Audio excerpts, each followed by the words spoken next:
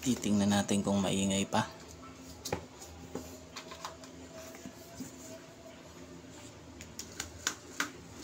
Ayun guys. Yan mga bro. Uy, tumama pa sa kamay ko.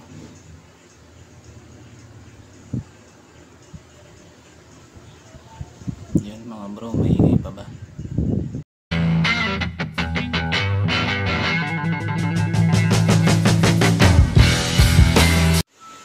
Yun nga mga bro, meron tayong gagawin dito ngayon na isang clip pan. Umaandar naman siya, okay naman siya kaso nakakalog.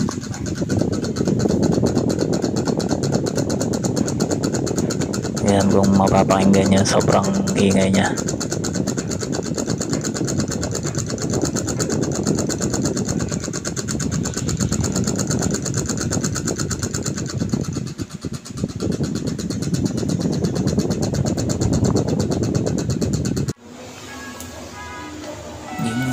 Bali kinalas na natin.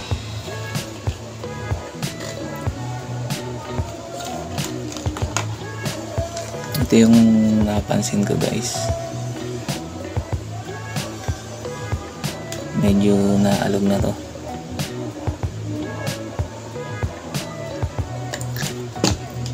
Tsaka napansin ko medyo sumasayad na rin yung kanyang ano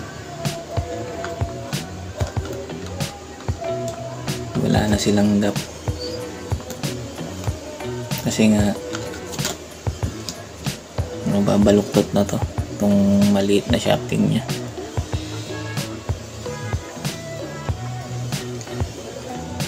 Bali guys ang ginawa kong discarte na lang.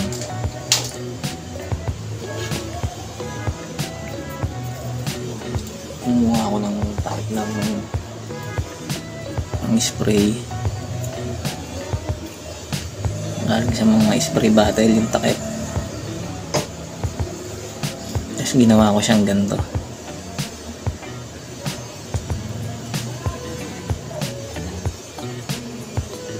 Hinati ko siya.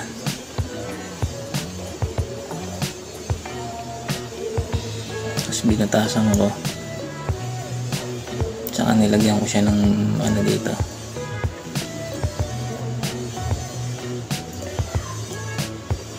Iniwahan ko rin siya ng konting space para mag-space yung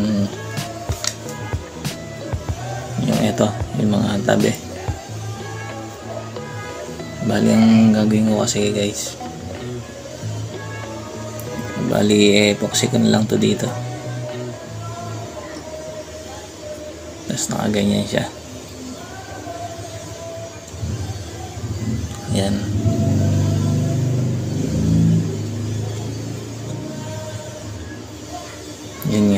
Nalagyan na natin ng digit dito.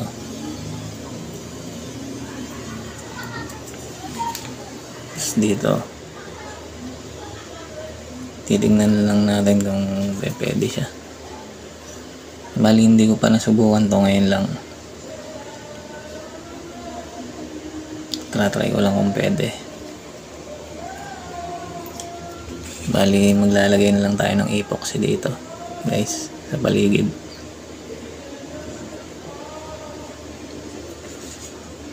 Tapos dito.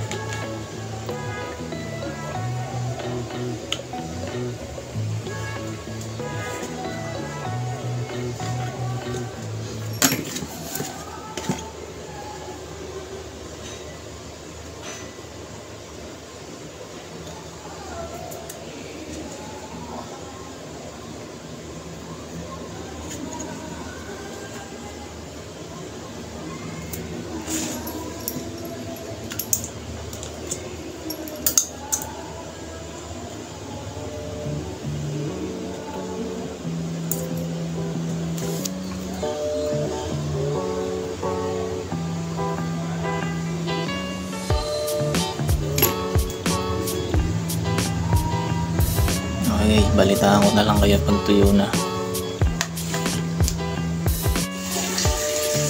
Yan nga guys. Matapos ang ating paghihintay. Bali, hindi na siya nagalaw guys. Matigas na.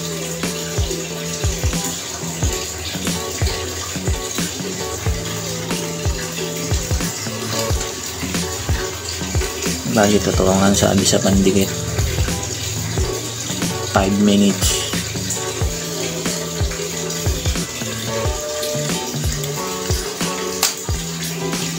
Yung guys, bali, ikakabit na natin.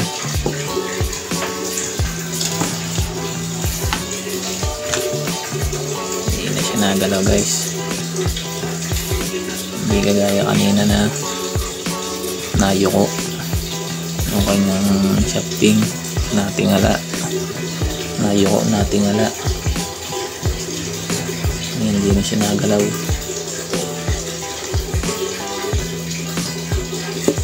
Ayun.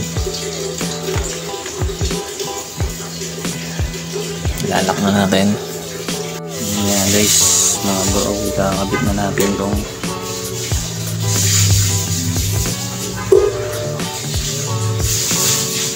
ating lock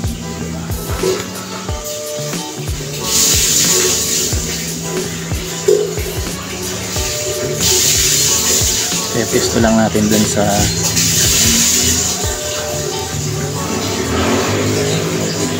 yung pwesto yung may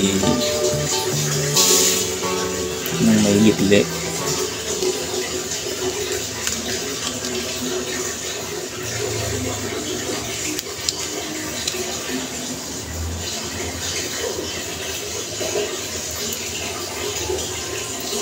ito lang yung pinakamahirap na parte dito eh yung maglalagay ng lock. Pero natsatsaga naman.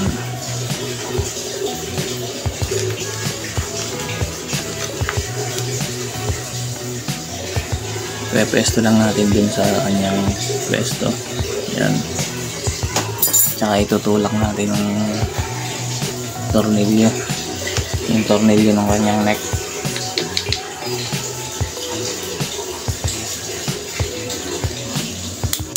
yun lumagitik na.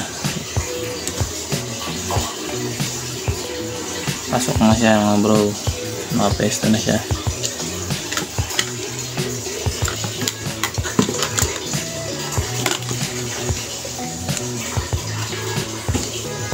Tapos ito over yung kanyang dalawang screw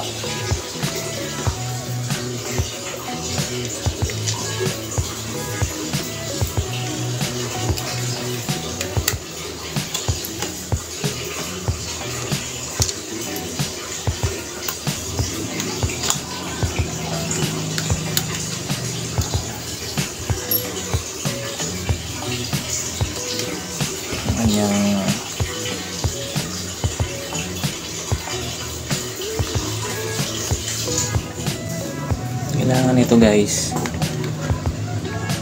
Itong butas niya. Naka ano nakapesto dun sa lalagay ng screw. Yun kita yung butas.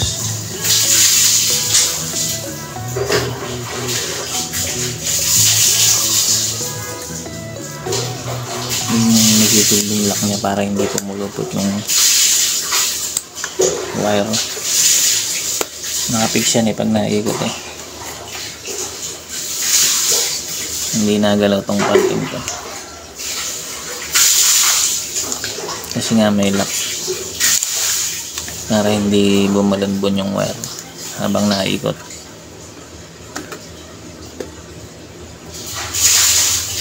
ayun sa neck naman tayo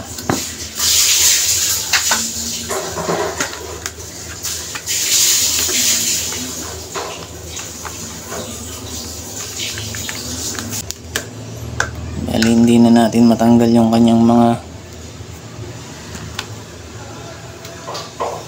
mga blade kasi nakadikit na yan eh. Maluwag lang kasi nakadikit na. Kaya idinigit. Natatanggal kasi kaya idinigit na lang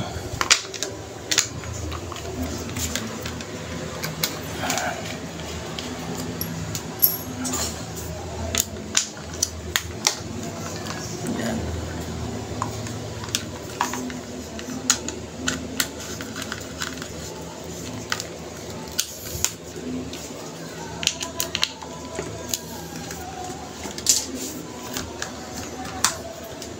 Yan guys, titingnan natin siya kung iingay pa.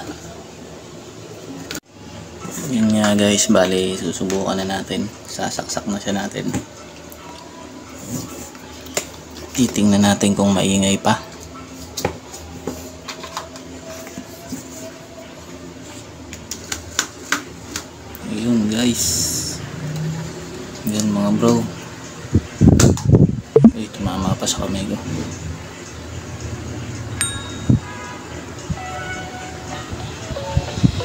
Yan mga bro, may